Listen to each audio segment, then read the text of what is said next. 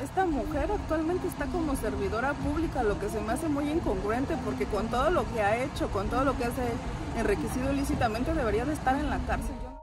La directora del Registro Público de la Propiedad, María de Lourdes Morales Urbina, tiene tres denuncias por haberse apropiado de un edificio del centro de Tuxtla, valuado en más de 10 millones de pesos.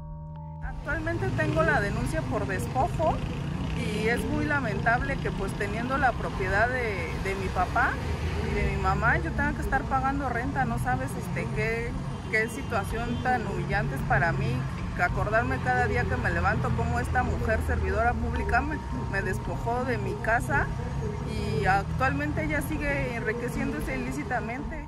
Se trata de un edificio ubicado en pleno centro de la capital, en la segunda oriente y primera sur. Es de seis pisos y consta de 24 departamentos con tres habitaciones, dos baños, patio de servicio, sala y cocina. Cuenta además con un amplio estacionamiento, tres locales comerciales y elevador.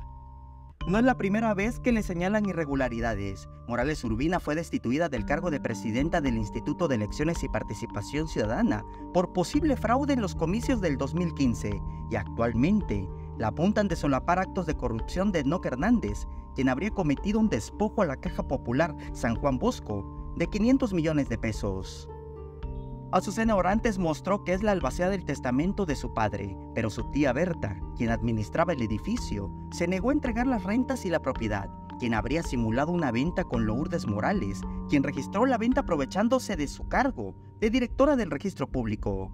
Es lo que ella comenta, que supuestamente mi tía le, le, vendió, le digo que no es cierto, esa venta es apócrifa porque pues el dueño es mi papá y en ningún momento mi mamá como viuda firmó ningún documento ni tampoco sus hijos. Entonces esa venta es apócrifa y ella se está enriqueciendo ilícitamente y saber de dónde habrá sacado tanto dinero porque pues como servidora pública no creo que gane tanto.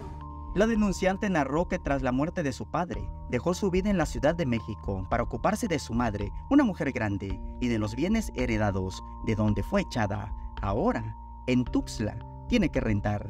Pues ya estoy adentro del, edificio, ya estoy este, pues ahí habitando, estoy haciendo mi comida y de repente escucho un ruido.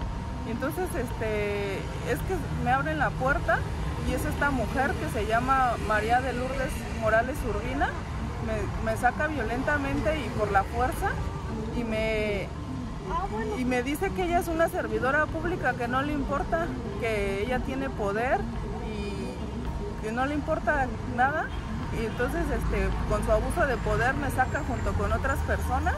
Samuel Revueltas, Alerta Chiapas.